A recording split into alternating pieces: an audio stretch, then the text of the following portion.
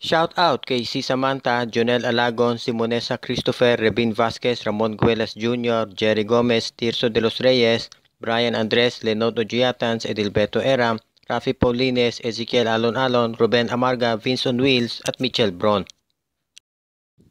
Kung titignan nyo ngayon yung draft positions, nasa number 12 ang Barangay Hinebra. Ibig sabihin, pagdating do sa first round, sila ang huling kukuha.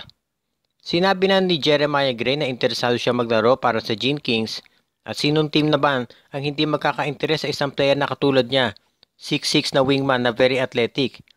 Yun nga lang, hindi lang Hinebra ang may gusto dyan kay Gray sigurado, maski yung ibang teams katulad ng SMB, Alaska Rain or Shine Phoenix at iba pa, sila ay mga nasa itaas ng barangay Hinebra at sigurado kung may pagkakataon ay baka kunin na nila si Gray.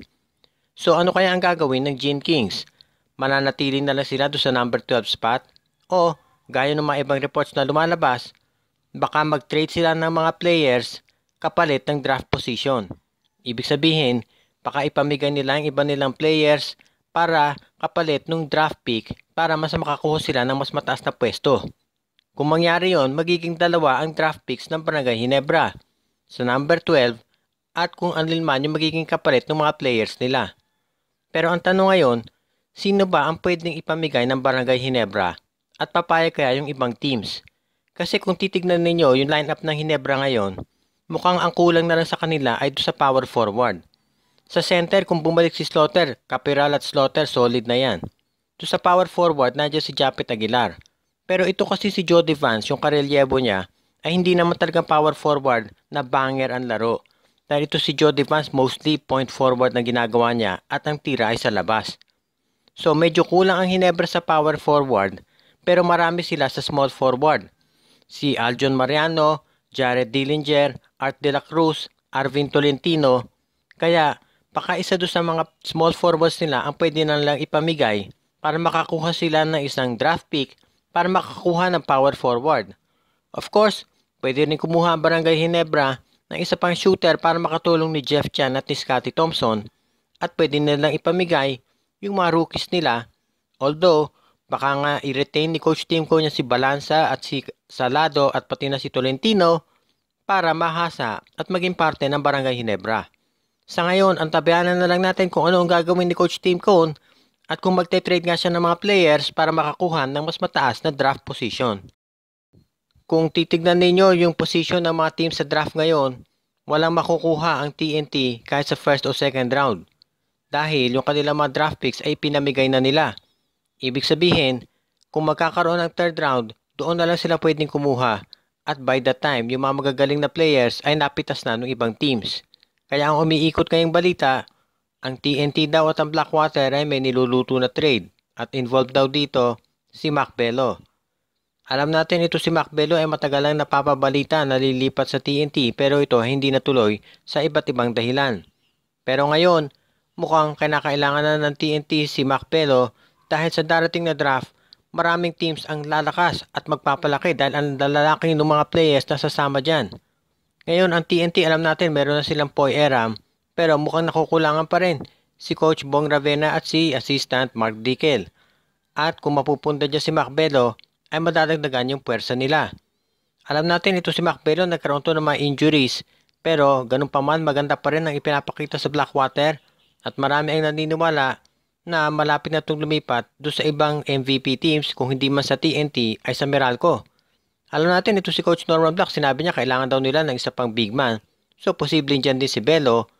Although mukhang ang kinoconsider na ngayon ng MVP team at ang priority nila talaga ay ang TNT, lalo na at nakapasok ito do sa finals laban sa Barangay Hinebra.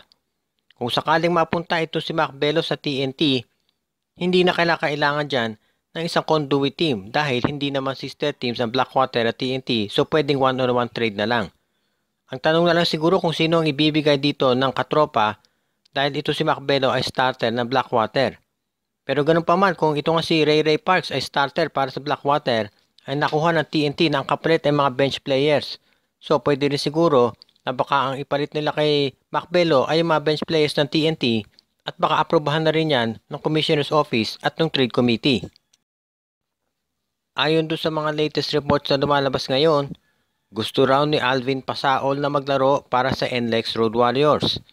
At kung titignan nyo naman ang itsura at yung style ng laro ni Pasaol ay bagay na bagay ito kay Coach Yang Giao. Ito si Pasaol ay malapad na power forward, may inside game, meron ding tira sa labas, and of course physical maglaro. Alam naman natin na si Coach Yang Giao nung nasa rain or shine yan, nakilala siya doon sa kanyang extra rise na si Bo Belga at si JR Kinyahan. Ngayon nasa kanya na si JR Kinyahan although medyo nag-reduce nga ito ng timpang at mas lean and mean ang laro. Pero kinakailangan pa rin ni Coach Yang Giao ng isang big man na makakatulong kay Raul Soyud at tos iba pa niyang players, lalo na si Asitaw Lava, ay may edad na at hindi masyadong ginagamit. Ito si Alvin Pasaol, sabihin na natin na medyo undersized siya doon sa position niya pagdating sa PBA. Pero idadaan naman niya yan sa laki ng katawan at sa sipag. At alam natin ito si Coach Yang Giao ay magaling naman yan pagdating do sa paghasa ng mga players na kahit hindi kilala ay nagagamit niya. Kung natandaan ninyo do sa stint niya sa Rain or Shine, nagagawa niya ng iba't ibang kombinasyon sa kanyang starting five dahil na ilalabas niya yung galing ng mga players niya na sa ibang teams ay nababangko lamang. Si Endix ganyan din ang gawa niya na nagagamit niya yung iba't ibang players niya para ma-maximize yung kanilang potensyal. At marami ang naniniwala na kung ito si Alvin Pasaol ay maglalaro para sa NLEX Road Warriors ay malaki ang may itulong nito sa kanilang kampanya. Lalo na ayon kay Coach Yang Giao, naapektuhan talaga sila ng pagkawala ni Poy Eram dahil iyon ang kanilang naging tower nung nandun sa sa gitna ng kanilang kupunan. Pero ngayon, dahil wala na si Eram, bumaba ang laro ng NLEX at nahirapan talaga sila makapag-match up to sa ibang kupunan. Kung mapupunta sa kanila si Pasaol, magiging malaking tulong yan para do sa rotation ni Coach Yang Giao. Sinabi ni PBA Commissioner Willie Marshall na pinag-aaralan pa rin ng liga kung ano ang magiging sitwasyon at format ng mga susunod na conferences. Ang sigurado pa lang ngayon, gusto na PBA ay tatlong conference at yung una ay ang Philippine Cup. Pero hindi pa rin sigurado hanggang sa ngayon kung magkakaroon ng import doon sa Commissioner at Governor's Cup. Ang problema kasi ayon kay Commissioner Marshall ay wala na yun sa kanilang kamay. Kung sila ang masusunod, gusto nila na merong mga imports ang problema nga lang, papaano kung halimbawa nga at naglagay sila ng imports doon sa second at third conference at kinakailangan ng teams na magpalit. Dadaan pa kasi yung bagong import na darating sa quarantine at i-isolation pa yan. Iyon ay baka umabot ng ilang linggo. So baka tapos na yung conference, hindi pa nakapaglalaro yung bagong import. At syempre, ayon kay Commissioner Marshall, depende rin kasi yan doon sa sitwasyon doon sa bansa na panggagalingan ng import dahil syempre kung may lockdown doon baka hindi na makapunta dito.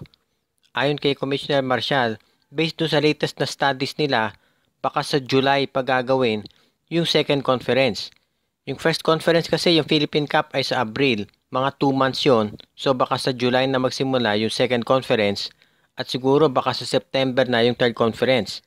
Umaasa si Commissioner Marshall na baka by that time ay medyo maayos na ang kalagayan dito at baka nag-normalize na at pwede na yung mga imports na maglaro ka agad. Pero syempre, mahirap umasa at mag-speculate. Kaya sa ngayon ayon kay Marshall at sa PBA Board of Governors, ang focus lang talaga nila ay siguraduhin na magiging maayos yung Philippine Cup. Kapag natapos na yung Philippine Cup, saka na nila aayusin at titignan kung ano ang magiging sitwasyon dito sa bansa natin with regards to sa mga health protocols at kung pwede na kumuha ng mga imports yung mga teams at makapaglaro na as usual do sa second and third conference. Shout out kay si Samantha, Jonel Alagon, Simonesa Christopher, Revin Vasquez, Ramon Guelas Jr., Jerry Gomez, Tirso de los Reyes, Brian Andres, Lenodo Giatans, Edilberto Eram, Rafi Paulines, Ezekiel Alon Alon, Ruben Amarga, Vince on Wheels at Mitchell Braun.